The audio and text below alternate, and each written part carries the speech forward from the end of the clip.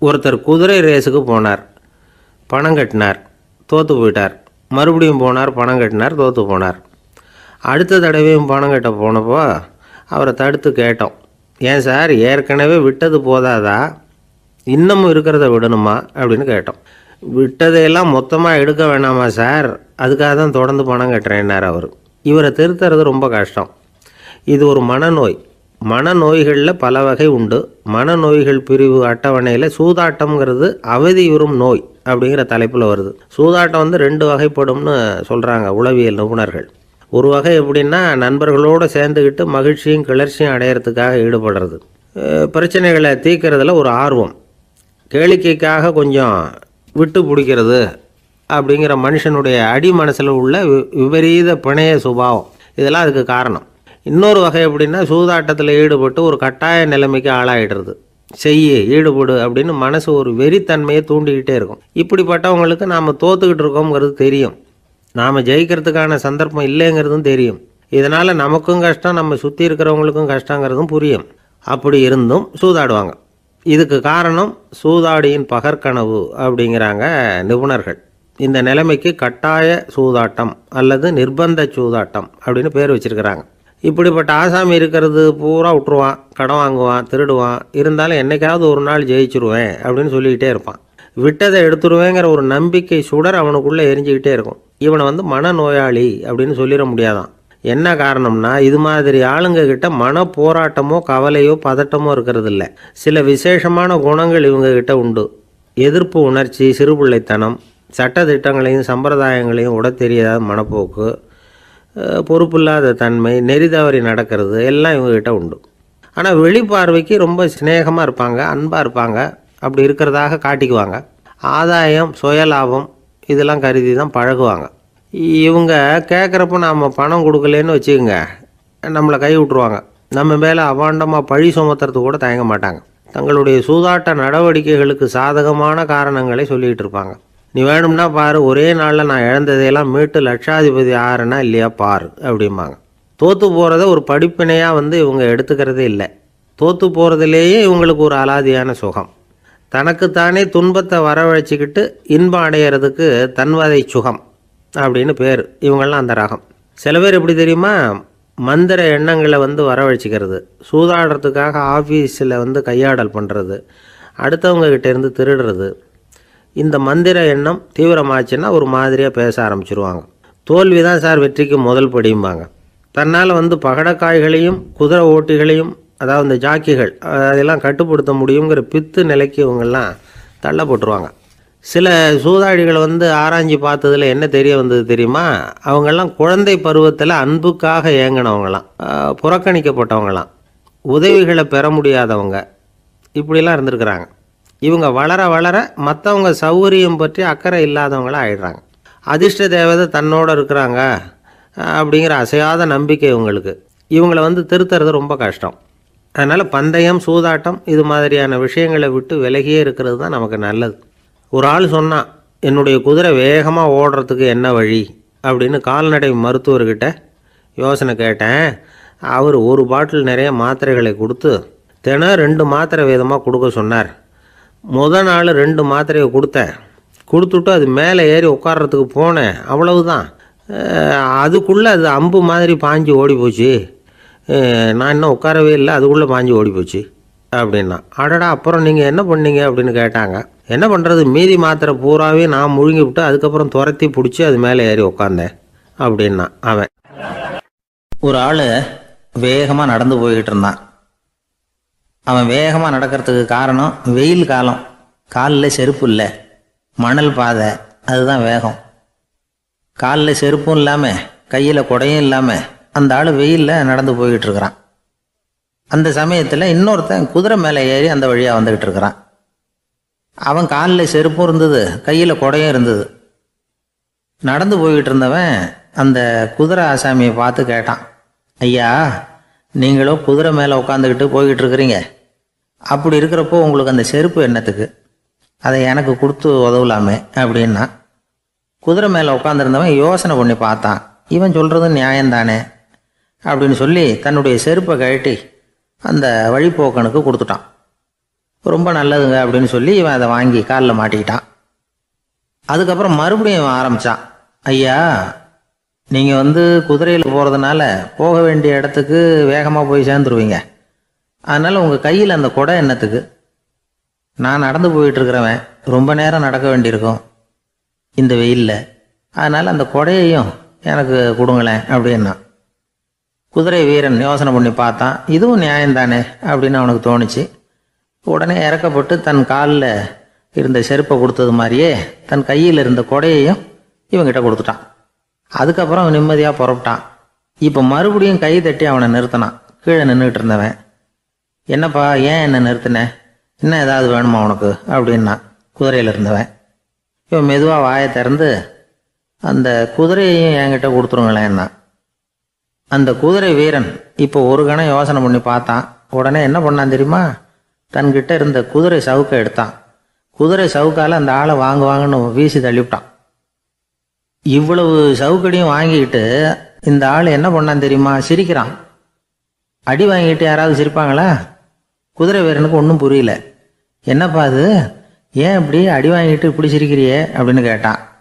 இப்போ அந்த வழிப்போக்கன் சொல்கிறான் ஐயா நான் இப்படி சிரிக்கிறதுக்கு காரணம் இருக்கு. இப்படி குதிரை கேட்டு உங்ககிட்ட அடி வாங்கலைன்னு வச்சுக்கோங்க. என் உயிர் உள்ள வரைக்கும் மனசில் ஒரு தவிப்பு இருந்துக்கிட்டே இருக்கும்.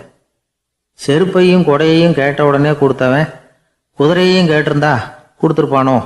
அப்படிங்கிற பேராசையில் ஏங்கிக்கிட்டே இருந்திருப்பேன். இப்போ உங்ககிட்ட அடி வாங்கின பிறகு என்னுடைய அந்த சந்தேகம் தீர்ந்து போச்சு. என்னுடைய ஆசைக்கு எல்லை எது அப்படிங்கிறத எனக்கு புரிஞ்சுட்டுது அப்படின்னு சொல்லிவிட்டு அவன் நடக்க ஆரம்பிச்சிட்டானான் ஆசைக்கும் எல்லை உண்டு அப்படிங்கிறத விளக்கிறதுக்காக வாரியார் சுவாமிகள் சொல்கிற கதை இது. இந்த காலத்துலேயும் ஒருத்தன் அது மாதிரி கொடை செருப்போட குதிரையில் போய்கிட்டு இருந்தான். எதிரில் நடந்து வந்தவன் ஐயா உங்கள் கொடையை எனக்கு கொடுங்களேன்னு கேட்டான். உடனே அவன் குதிரையிலேருந்து கீழே குதிச்சு அவனை சாட்டையால் அடிக்க ஆரம்பிச்சிட்டான். இன்னொருத்தர் அந்த வழியாக வந்தவர் இதை பார்த்தார். ஏன்பா அவன் கேட்டான் உன்னால் முடியலன்னா இல்லைன்னு சொல்லிட வேண்டியது தானே அதுக்காக ஏன் இப்படி அவனை போட்டு அடிக்கிறேன்னு கேட்டார். உங்களுக்கு விவரம் புரியாது சார். காலம் ரொம்ப கெட்டு போச்சு. கேட்டதை கொடுத்தேன்னு வச்சுக்கோங்க. இந்த குதிரையே என்னோடது. அவன் திருடிக்கிட்டு போகிறான் அப்படின்னு என் பேரில் புகார் கொடுக்க ஆரம்பிச்சிருவான் சார். அப்படின்னா அது எப்படி அவ்வளோ உறுதியாக சொல்கிறேன்னு கேட்டார் அவர். ஏற்கனவே அது மாதிரி ஒருத்தன் பேரில் புகார் கொடுத்துட்டு தான் இந்த குதிரையை நான் தள்ளிட்டு வந்துக்கிட்டு இருக்கிறேன். அப்படின்னார். ஆஃபீஸில் வேலை பார்க்குற ஒருத்தர் வந்தார். பேசாமல் ஒரு பத்து நாள் லீவ் போட்டுடலாமா பார்க்குறேன் அப்படின்னார். ஏன்னு கேட்டோம். என்னுடைய மேலதிகாரி ஒரு முசுடு சார். அவர்கிட்ட வேலை பார்க்குறது ரொம்ப கஷ்டமாக இருக்குது அப்படின்னார். ஆஃபீஸில் வேலை பார்க்குறவங்கெல்லாம் ஒரு விஷயத்தை நல்லா ஞாபகத்தில் வச்சுக்கணும். மேலதிகாரிங்கிறவர் ஒரு பெரிய மகான் இல்லை. அவரும் ஒரு மானிட பிறவி தான் சராசரி மனுஷனுக்குள்ள பலம் பலவீனம் ரெண்டும் அவருக்கும் உண்டு. அதனால் அவரை கொஞ்சம் அனுசரித்து போகிறதுக்கு பழகிறது தான் நல்லது. மேலதிகாரிகளில் பல வகை உண்டு. அதில் முக்கியமாக மூணு வகை. அதில் ஒரு வகை எப்படி தெரியுமா? உங்களை வந்து ஒரு வேலை செய்கிற மெஷினாக மட்டுமே நினைக்கக்கூடிய வகை. இவங்கள்லாம் எப்படின்னா எங்கேயாவது வெளியூர் போயிருந்தா கூட அங்கேருந்து ஃபோன் பண்ணுவாங்க. அந்த வேலை என்னாச்சு இந்த வேலை என்னாச்சு அப்படின்னு. இவங்களுக்கெல்லாம் உங்கள் நலனை பற்றியோ உங்கள் குடும்பத்தை பற்றியோ அக்கறை இருக்காது. நீங்கள் சொல்கிற யோசனை எதுவும் இவங்ககிட்ட எடுபடாது. கொடுத்த வேலையை பாரு நீ எனக்கு புத்தி சொல்ல வேணாம் அப்படிம்பாங்க. இவங்களை அனுசரித்து போகிறதுக்கு ஒரே வழி இவங்க எதை சொன்னாலும் சரின்னு சொல்லிவிட்டு வேலையை கவனிக்க வேண்டியது தான் இவங்கக்கிட்ட வேறு எந்த கேள்வியும் கேட்டுக்கிட்டு இருக்கக்கூடாது. ஆமாம் சாமி போடுறது கௌரவ குறைச்சல் இல்லை. அது ஒரு அலுவலக சௌகரியம் அவ்வளவுதான். இன்னொரு வகையான மேலதிகாரிகள் எப்படி தெரியுமா? இவங்கள்லாம் ஆஃபீஸ் வேலையை பற்றி அதிகமாக கவலைப்பட்டுக்கிட்டு இருக்க மாட்டாங்க. தங்களுடைய சொந்த இமேஜ் பாதிக்கப்படக்கூடாதுங்கிறதுலையே கவனமாக இருப்பாங்க. இவங்கெல்லாம் அடிக்கடி உங்கள் நலனை விசாரிப்பாங்க. அதே மாதிரி நீங்களும் அவரை விசாரிக்கணும்னு எதிர்பார்ப்பாங்க. இந்த ரக அதிகாரிகளுக்கெல்லாம் புது வருட வாழ்த்து அனுப்பலாம் பிறந்தநாள் வாழ்த்து அனுப்பலாம். அவருக்கு எங்கேயாவது ஒரு பாராட்டு விழா நடந்தால் முதல் வரிசையில் போய் உட்காந்து உங்கள் முகத்தை காட்டலாம். ஆஃபீஸ் வேலையை மட்டுமே பார்க்குற பணியாளர்கள் இது மாதிரி அதிகாரிகள்கிட்ட நல்ல பேர் வாங்க முடியாது. இன்னொரு வகையான மேலதிகாரிகள் உண்டு. அவங்க எப்படின்னா ஆஃபீஸ் வேலையை பற்றியும் கவலைப்பட மாட்டாங்க. தனக்கு கீழே வேலை பார்க்குறவங்கள பற்றியும் கவலைப்பட மாட்டாங்க. எக்காரணம் கொண்டும் தன்னுடைய பொசிஷனுக்கு ஆபத்து வந்துடக்கூடாதுன்னே நினைக்கக்கூடியவங்க இவங்க. இவங்களால வந்து கடுமையான வேலை செய்யவும் முடியாது தீர்மானிக்கவும் முடியாது. எந்த முடிவையும் எடுக்காமல் அப்படிலாம் அப்படியே அப்படி அப்படியே தள்ளி போட்டுக்கிட்டே போயிடுவாங்க எல்லாத்தையும். இதனால் என்ன ஆகும்னா இ- இவருக்கு கீழே வேலை பார்க்குற உங்களுக்கு பொறுப்பு அதிகமாகிடும் இவங்ககிட்ட போய் பிரச்சனையை மட்டும் சொல்லி பிரயோஜனம் இல்லை அதுக்கான முடிவுகளை நீங்களே சொல்லணும். அப்போ தான் இது மாதிரி அதிகாரிகள்கிட்ட நல்ல பேர் வாங்கலாம். அட்லீஸ்ட் கெட்ட பேர் வாங்காமலாவது காலம் தள்ளலாம். ஆஃபீஸில் வேலை பார்க்குறவங்க முக்கியமாக சில விஷயங்களை ஞாபகத்தில் வச்சுக்கணும். ஆஃபீஸில் நடக்கிற நல்லது கெட்டது எதுவாக இருந்தாலும் உடனடியாக மேலதிகாரிகிட்ட தெரிவிக்கிறது நல்லது. மூன்றாவது மனிதர் மூலமாக அதை அவர் தெரிஞ்சுக்கிறது அவ்வளவு நல்லதில்லை. எந்த மேல் அதிகாரியுமே தான் வந்து இந்த சர்பாஸ் செய்யப்படுறத விரும்புறதில்லை. அதனால் அவருக்கு தெரியாமல் மேலிடத்துக்கு மணி எழுதி போடக்கூடாது. அப்படி எழுதி போடுறவங்க சில பேர் இருக்கிறாங்க. நீங்களும் உங்கள் மேலதிகாரியும் தொழில் ரீதியாக ஒரே படிப்பு படித்தவராக இருக்கலாம். அப்படி இருந்ததுன்னா அட்ஜஸ்ட் பண்ணி போகிறது கொஞ்சம் கஷ்டம்தான். இதை மனசில் வச்சுக்கிட்டு நடந்துக்கணும். உங்களுக்கும் அவருக்கும் அபிப்பிராய பேதமா? அது அவருக்கும் உங்களுக்கும் உள்ள தனிப்பட்ட பிரச்சனை. அதை வந்து விளம்பரப்படுத்திக்கிட்டு இருக்கக்கூடாது. அது அவருடைய கோபத்தை கிளறும். உங்கள் மேலதிகாரி உங்கள் கூட படித்தவராக இருக்கலாம். அதுக்காக அவர் எல்லாருக்கும் முன்னாடி அடே கிச்சாமி எப்படிடா இருக்க? அப்படின்லாம் கேட்டுக்கிட்டு இருக்கக்கூடாது பொதுவாக யாரும் அதை விரும்புறதில்ல. இவ்வளவையும் உங்கள் மனசில் வச்சுக்கிட்டு கொஞ்சம் சாமர்த்தியமாக நடந்துக்கிட்டிங்கன்னா ஆஃபீஸ் வந்து உங்களுக்கு அவஸ்தையாக இருக்காது ஆனந்தமாக இருக்கும். ஒரு மேலதிகாரி தன்கிட்ட வேலை பார்க்குற ஒருத்தரை பற்றி ரொம்ப பெருமையாக சொன்னாராம். எங்கள் ஆஃபீஸில் எவ்வளவோ பேர் வேலை பார்க்குறாங்க. எல்லாரும் தினமும் வந்து ஏதாவது பிரச்சனைகளை சொல்லிகிட்டு இருப்பாங்க. ஆனால் இவர் ஒருத்தர் மட்டும்தான் இது வரைக்கும் என்கிட்ட வந்து எந்த பிரச்சனையும் சொன்னதே இல்லை. அவர் பாட்டுக்கு வருவார் வேலை பார்ப்பார் போயிடுவார் அப்படின்னாராம். நான் உடனே அவ்வளவு பெருமைக்குரிய அந்த ஊழியரை பார்த்து கேட்டேன். ஏன்பா அவனுடைய மேலதிகாரிகிட்ட நீ எந்த பிரச்சனையும் கொண்டுகிட்டு போகிறதே இல்லையாமே அப்படின்னு கேட்டேன். அதுக்கு அவர் சொல்கிறாரு ஆமாங்க அது ஏன்னா அவரால் எந்த பிரச்சனையுமே தீர்க்க முடியாதுங்கிறது எனக்கு நல்லா தெரியும். அதனால் அப்படி செய்கிறேன் வேற ஒன்றும் இல்லை அப்படின்னார். ரொம்ப பொறுமையாக ஒரு மனுஷனுக்கு மூணு விதத்தில் கர்வம் உண்டாகிறதுக்கு வாய்ப்பு உண்டு. பணம் பதவி புகழ். பணம் அதிகமாக வந்தால் கர்வம் வரலாம். பதவி பெருசாக வந்துட்டுதுன்னா கர்வம் வரலாம். புகழ் அதிகமாக போனாலும் கர்வம் வரலாம். இந்த மூணு வகையான கர்வத்துக்கும் இடம் கொடுக்காம இருக்கிறாங்க பாருங்கள் அவங்க தான் சிறந்த மனிதர்கள். ஒரு பெரிய பொறுப்பில் இருக்கிறவங்களுக்கு கர்வம் வந்துடக்கூடாது. அப்படி வந்துட்டுதுன்னா அது எல்லாருக்கும் இடைஞ்சல். ஒரு ராஜா இருந்தார். அவர் ஒரு நாள் தன்னுடைய தலைநகரத்தை சுற்றி வந்துக்கிட்டு இருந்தார். ஒரு இடத்துல ஒரு அழகான நிலத்தை பார்த்தார். ஆஹா இந்த இடத்துல நமக்குன்னு ஒரு மாளிகையை கட்டினா எவ்வளோ நல்லாயிருக்கும் அப்படின்னு நினச்சார். ராஜா நினச்சா அது முடியாத காரியமா? சரி இந்த நிலம் யாருக்கு சொந்தம்னு விசாரிங்க அப்படின்னார் பக்கத்தில் இருந்தவங்கக்கிட்ட அவங்கெல்லாம் ஓடி போய் விசாரித்தாங்க அந்த இடம் வந்து ஒரு வயசான கிழவிக்கு சொந்தம் வயசான அம்மாவுக்கு சொந்தமாக அந்த அம்மா தான் அதில் ஒரு குடிசையை போட்டு குடியிருந்துகிட்டு இருக்கிறாங்க. சரி அந்த நிலத்துக்கு வந்து ஒரு விலையை நிர்ணயம் பண்ணி அதை அந்த வயசான அம்மாக்கிட்ட கொடுத்துருங்கோ அப்படின்னு உத்தரவு போட்டார் ராஜா. ஆனால் அந்த அம்மா இது எங்கள் பூர்வீக இடம் இதை விற்க மாட்டேன் அப்படின்னு சொல்லிவிட்டுது. சரி ரெண்டு பங்கு விலை கொடுக்குறோம்னு சொல்லி பாருங்க அப்படின்னாங்க. அப்படியே சொன்னாங்க அரண்மனை ஆட்கள். அதுக்கும் சம்மதிக்கலை அந்த அம்மா. இதை கேள்விப்பட்டதும் ராஜாவுக்கு கோபம் வந்துட்டுது. தன்னுடைய ஆளுங்களை கூப்பிட்டார். போய் அந்த குடிசையை பிரித்து காசெல்லாம் ஒன்றும் கொடுக்காதீங்க அப்படின்னு கத்தினார். அவ்வளோதான் அடுத்த நிமிஷம் அரண்மனை ஆசாமிகள் போனாங்க குடிசையை பிரித்து எரிஞ்சாங்க. அந்த வயசான அம்மா இருக்குது அதுவும் அந்த இடத்த விட்டு துரத்தி விட்டாங்க. அந்த இடத்துல ஒரு அரச மாளிகையை கட்டி முடிச்சிட்டாங்க. அந்த வயசான அம்மா பாவம். ராஜாவே இப்படி பண்ணால் யார்கிட்ட போய் முறையிட முடியும்? ஒரு ஞானி இருந்தார். அவர்கிட்ட போய் சொன்னாங்க. அவர் இவங்க சொன்னதை கேட்டு மனசில் வச்சுக்கிட்டார். ஒரு நாள் அந்த ராஜாவே இந்த ஞானியை கூப்பிட்டார். புதுசாக ஒரு மாளிகை கட்டியிருக்கிறேன் வந்து பாருங்கன்னு. சரின்னு சொல்லி இந்த பெரியவர் ஒரு நாள் இந்த மாளிகைக்கு போனார். சும்மா போகல ஒரு கழுதையையும் ஓட்டிகிட்டு போனார். கொஞ்சம் சாக்குகள் வெத்து சாக்கு. அதையும் எடுத்து கழுதை முதுகில் போட்டு கழுதையை ஓட்டிகிட்டு போகிறார் ராஜா பார்த்தார். அவருக்கு இது ஆச்சரியமாக இருந்தது. என்ன இது மாளிகைக்கு வந்துட்டு போங்கன்னு கூப்பிட்டா கழுதை சாக்கு இதெல்லாம் கொண்டு வராரே. ஒன்றும் புரியலையேன்னு நினச்சார். எதுக்காக இதெல்லாம்னு கேட்டார். அரசருடைய தோட்டத்திலேருந்து கொஞ்சம் மண் எடுத்துகிட்டு போகிறதுக்கு ஆசைப்பட்றேன். அதுக்கு நீங்கள் அனுமதி கொடுக்கணும் அப்படின்னாரு இவர். இது என்ன வேடிக்கையான கோரிக்கையாக இருக்குது அப்படின்னு நினச்சார் ராஜா. இருந்தாலும் மண் தானே கேட்குறாரு எடுத்துகிட்டு போகட்டுமே அப்படின்னு நினச்சார். சரின்னு அனுமதி கொடுத்தார். அந்த பெரியவர் தோட்டத்துக்கு போனார் மண்ணை வெட்டினார் சாக்கில் போட்டு நிரப்புனார். ராஜாவை கொஞ்சம் கிட்ட வாங்கன்னு கூப்பிட்டார். இந்த மண் மூட்டையை தூக்கி கழுதையோட முதுகில் வைக்கணும். கொஞ்சம் உதவி பண்ணுங்கன்னார். ஓ பண்ணுறேனே அப்படின்னு சொல்லி ராஜா கிட்ட போனார். மூட்டையை தூக்கி பார்க்குறாரு முடியல. திணறி போயிட்டார். இப்போ அந்த ஞானி பேசினாராம் அரசே இந்த ஒரு சாக்கு மண்ணையே உங்களால் தூக்க முடியல. அந்த கிழவிகிட்ட இருந்து அந்த அக்கிரமமாக அபகரித்த இந்த தோட்டம் பூராவையும் சுமக்கணும்னு ஆசைப்படுறீங்களே அது உங்களால் முடியுமா? அப்படின்னு கேட்டாராம். ராஜா யோசனை பண்ண ஆரம்பித்தார் தன்னுடைய செயலுக்காக வருத்தப்பட்டாராம்.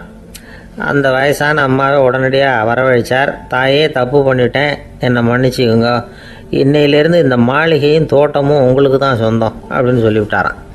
போகிறப்ப இந்த உலகத்துலேருந்து எண்ணத்தை எடுத்துகிட்டு போக போகிறோம் அதனால் ரொம்பவும் அலட்டிக்க வேண்டியதில்லை கருவப்பட வேண்டியதில்லை அப்படிங்கிறது ஒரு பெரிய உபதேசம். ஒரு பெரிய மனுஷன் சாக கிடந்தார். ரொம்பவும் அழுதார். ஏன் அழறீங்க? அப்படின்னு கேட்டாங்க சுற்றி இருந்தவங்க. நான் சாகிறதுக்காக கவலைப்படலை. நான் வந்து நம்ம ஜனங்களுக்காக எவ்வளவோ காரியம்லாம் செஞ்சுக்கிட்டு வந்தேன். நான் செஞ்சுக்கிட்டு வந்த சேவையை இனிமேல் யார் செய்ய போகிறாங்க அது யாரால முடியும்? அதை நினச்சி தான் அழகிறேன் அப்படின்னாராம் ஒருத்தர் முன்னாடி வந்தார். அதுக்காக நீங்கள் கவலைப்படாதீங்க. உங்கள் சேவையை தொடர்ந்து செய்கிறதுக்கு என்ன மாதிரி இளைஞர் பட்டாலும் தயாராக இருக்குது இருந்தாலும் எங்கள் கவலை என்னென்னா அப்படின்னு இழுத்தார் என்ன சொல்லுங்கன்னு கேட்டார் அவர். நீங்கள் இது வரைக்கும் என்ன சேவை செஞ்சுக்கிட்டு வந்தீங்க? அதுதான் எங்களுக்கு இன்னமும் புரியாத புதிராக இருக்குது அப்படின்னாராம் அவர். காசியில் இருக்கிற கடவுள் காசி விஸ்வநாதர் அங்கே இருக்கிற தேவி காசி விசாலாட்சி இவங்க ரெண்டு பேரும் ஒரு நாள் பேசிக்கிட்டு இருந்தப்போ கடவுள் சொன்னார் இந்த மனிதர்களை நாம் ரொம்பவும் நம்பிக்கையோடு தான் படைச்சிருக்கிறோம். இருந்தாலும் அவங்களுக்கு தான் நம்பிக்கை இல்லை. எதுலேயும் ஒரு உண்மையான நம்பிக்கை இல்லாமல் வாழ்ந்துக்கிட்டு இருக்கிறாங்க அப்படின்னார். என்ன அப்படி சொல்கிறீங்க அதை பாருங்கள் எவ்வளவு பேர் காசியை தேடிட்டு வந்து கங்கையில் குளிச்சுக்கிட்டு இருக்கிறாங்க. அவங்கெல்லாம் நம்பிக்கை இல்லைன்னா இவ்வளோ தூரம் தேடிட்டு வந்து இங்கே குளிப்பாங்களா? அப்படின்னு நாங்கள் தேவி சரி அதை சோதித்து பார்க்கலாம் அப்படின்னு ரெண்டு பேரும் முடிவு பண்ணிக்கிட்டாங்க. உடனே ஒரு திட்டம் போட்டாங்க. அது எப்படின்னா நாம் ரெண்டு பேருமே பக்தர்கள் மாதிரி உருவத்தை மாற்றிக்கிட்டு கங்கை கரைக்கு போக வேண்டியது. நான் வந்து கங்கையில் இறங்கி குளிக்கிறேன். கொஞ்ச நேரத்தில் சுழலில் மாட்டிக்கிட்டது மாதிரி நடிக்கிறேன்.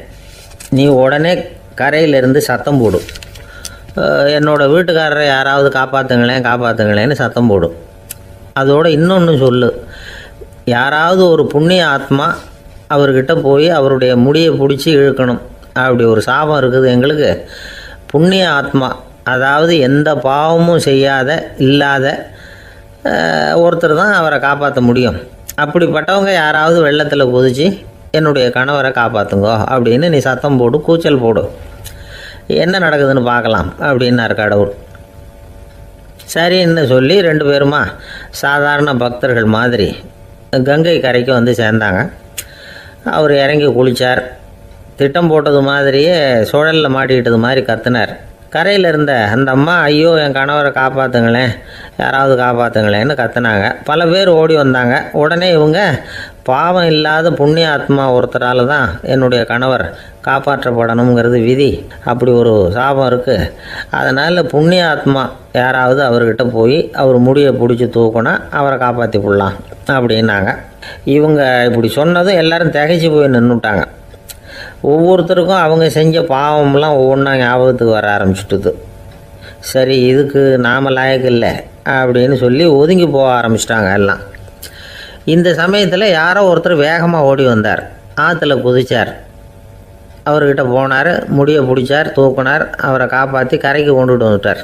அப்படி காப்பாற்றின அந்த ஆளை இவங்க ரெண்டு பேரும் தனியாக கூப்பிட்டுக்கிட்டு ஒரு மண்டபத்துக்கு வந்துட்டாங்க. வந்து விசாரிக்கிறாங்க. நீ யாரப்பா அப்படின்னு கேட்குறாங்க ஏதும் தெரியாத மாதிரி. நான் இந்த ஊர் அன்ன சத்திரத்தில் வேலை செய்கிற ஒரு சமையல்காரன் அப்படிங்கிறார். நீ வந்து கங்கையில் குளிக்கிறது உண்டான்னு கேட்டிருக்காங்க. நான் இந்த ஊர்லேயே தான் இருக்கிறேன். இருந்தாலும் தினமும் கங்கையில் குளிக்கிறதில்ல. எப்பாவது ஒரு நாள் அங்கே குளிப்பேன் அப்படின்னார். கங்கையில் மூழ்கி எழுந்திரிச்சா பாவம்லாம் தொலையும்னு சொல்கிறாங்க அப்படி இருக்கிறப்போ அங்கே இன்னைக்கு கங்கையில் குளிச்சுக்கிட்டு இருக்கிறவங்கெல்லாம் தங்களை வந்து புண்ணிய ஆத்மாவாக நினைக்கல. கங்கையில் குளிக்காத நீ உன்னை வந்து புண்ணிய ஆத்மாவாக நினச்சி என்னை காப்பாற்ற வந்திருக்கிற? அது எப்படி? அப்படின்னு கேட்டார். அதுக்கு அந்த ஆள் சொல்கிறான் கங்கையில் குதித்ததுக்கு அப்புறம் தானே உங்களை காப்பாற்ற போகிறோம் அப்படி குதிக்கும் பொழுது என்னுடைய பாவம்லாம் போயிருக்கும்ல. நான் புண்ணிய ஆத்மாவாக ஆயிருப்பேனே அதனால தான் துணிஞ்சு வந்து உங்களை காப்பாற்றினேன் அப்படின்னா. கடவுளும் தேவியும் அவனுக்கு வந்து காட்சி கொடுத்தாங்களாம். இப்படி ஒரு கதை உண்டு. அதாவது கங்கையில் குளிச்சுக்கிட்டு இருக்கிறவங்களுக்கே தங்களுடைய பாவம் போகுங்கிற நம்பிக்கை பரிபூர்ணமாக இல்லை. குளிக்காத ஒருத்தனுக்கு அந்த நம்பிக்கை இருந்தது. அதனால் அவனால் கடவுளை பார்க்க முடிஞ்சது. கடவுளை வந்து நாமளும் பார்க்க முடியுமா? முடியாதா? அப்படிங்கிற குழப்பம்லாம் நமக்கு வேண்டியதில்லை.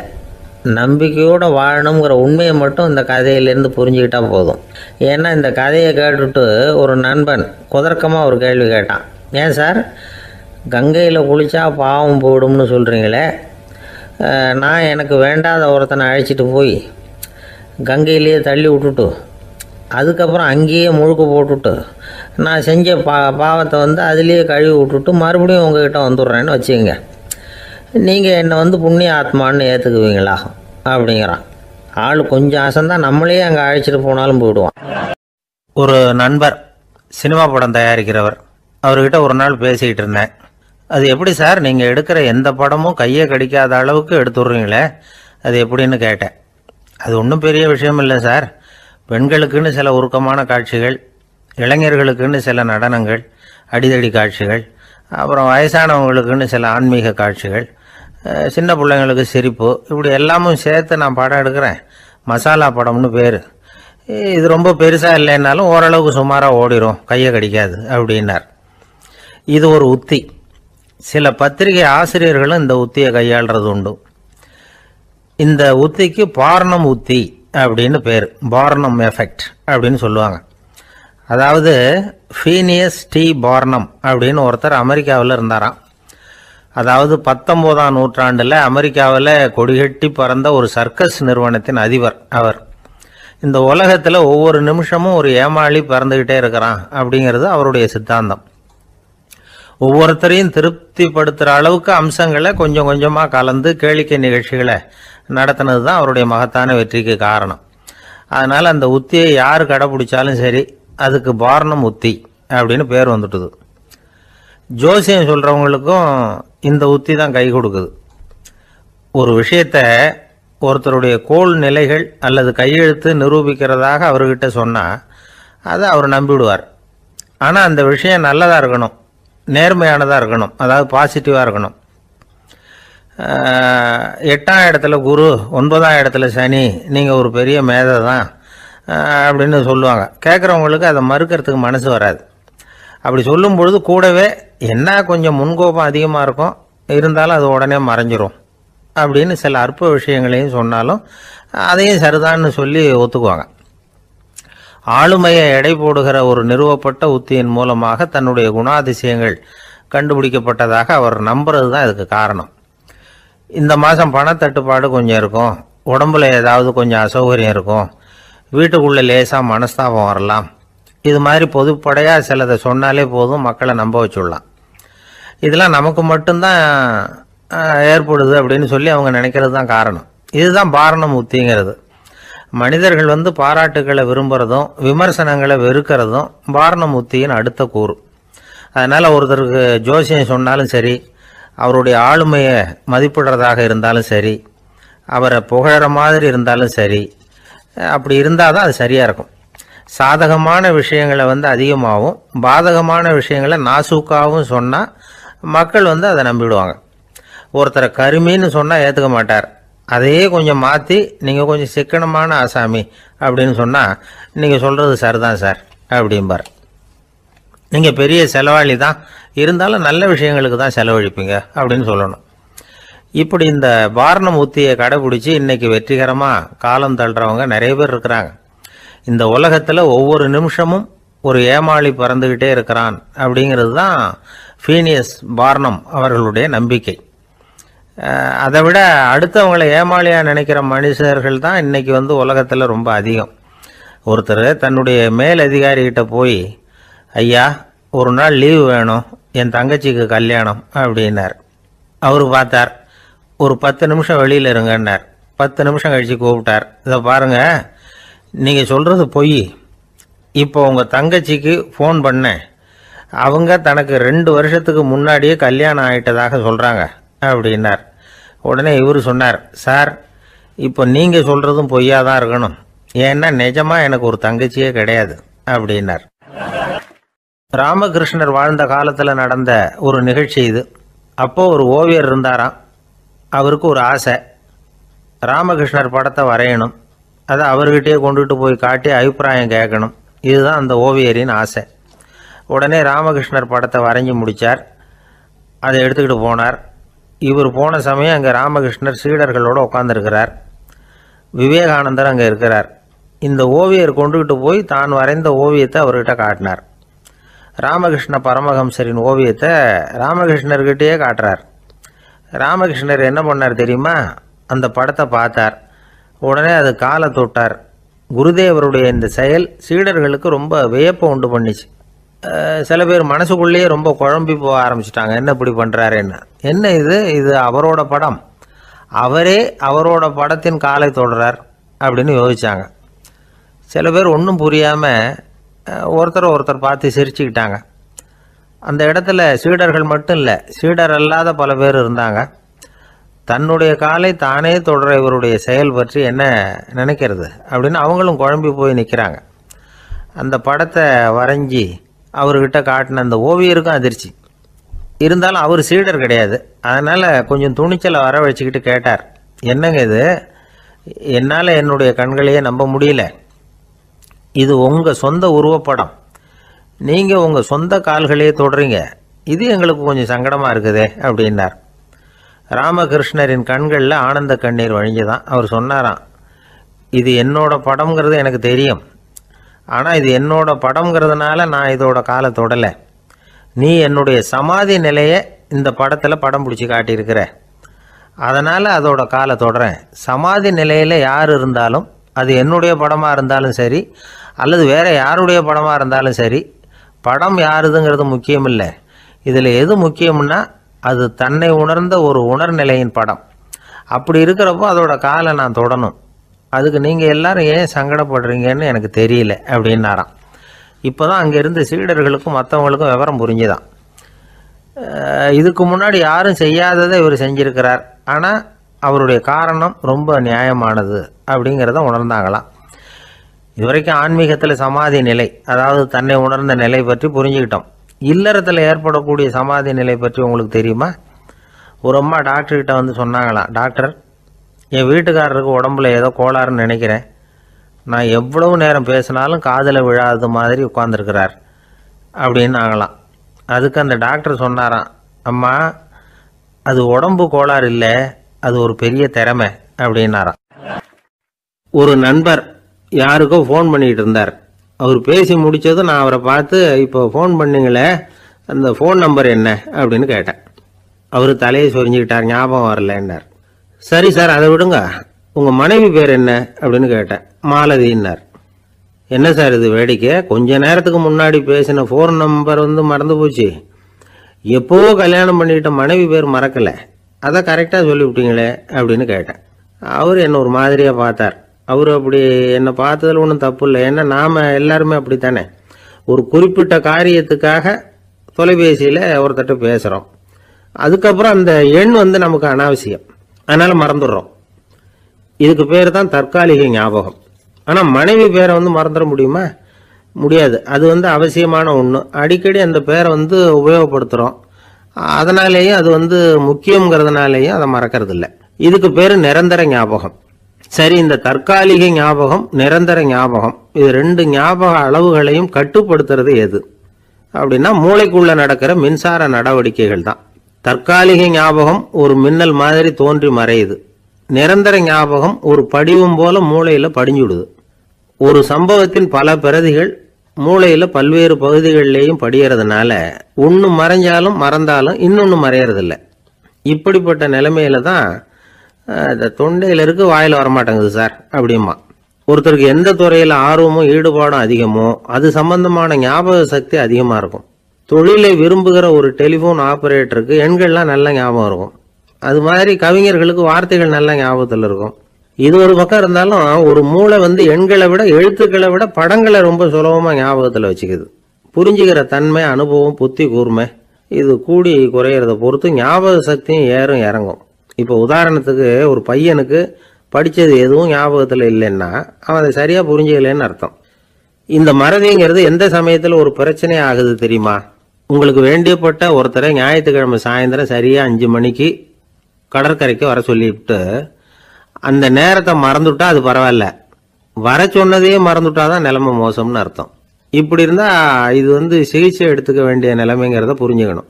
ஆமாம் இதுக்கும் மருந்து இருக்குது ஆனால் மூளை வந்து குறிப்பிட்ட அளவுக்கும் கீழே இயங்குறப்போவோ இன்னொன்று சொல்லுவாங்க இந்த நீரோ டிரான்ஸ்மிட்டர் அப்படின்னு சொல்லுவாங்க. அப்படிங்கிற மூளை ரசாயனம் ரொம்பவும் குறைஞ்சி போகிறப்போ மட்டும்தான் உபயோகப்படும். டாக்டர் என்ன சொல்கிறாங்க தெரியுமா? மூளையை பொறுத்த வரைக்கும் அதில் ஞாபக சக்தி அதிகமாக உள்ள மூளை மறதி உள்ள மூளை அப்படின்னு ஒன்றும் கிடையாது. அப்படிங்கிறாங்க. நினைவு வச்சுக்கிறதுக்கு பயிற்சி அளிக்கப்பட்ட மூளை பயிற்சியற்ற மூளை அப்படின்னு வேணும்னா சொல்லலாம் அப்படின்னு சொல்கிறாங்க அதனால நம்ம ஞாபக சக்திங்கிறது நம்ம கிட்ட இருக்கிற பயிற்சி முயற்சி இதை பொறுத்து தான் அமையும். ஒருத்தர் ஒரு பென்சிலை எங்கேயோ வச்சுக்கிட்டு தேடிக்கிட்டு இருந்தார். அப்புறம் என்னமோ தீவிரமாக யோசனை பண்ணி அதை ஞாபகப்படுத்தி பார்த்துக்கிட்டு இருந்தாராம். எதிரில் உட்காந்துருந்தவர் சொன்னார் பென்சிலை தானே தேடிக்கிட்டு இருக்கீங்க? அது உங்கள் வலது காதில் இருக்குது சார் அப்படின்னாராம் அவர். இதுக்கு அவர் சொல்லியிருக்காரு பென்சிலை வந்து வலது காதில் தான் வச்சுருக்கேங்கிறது எனக்கு நல்லா ஞாபகம் இருக்குது ஆனால் எது வலது காதுங்கிறது தான் மறந்து போச்சு அப்படின்னாராம்.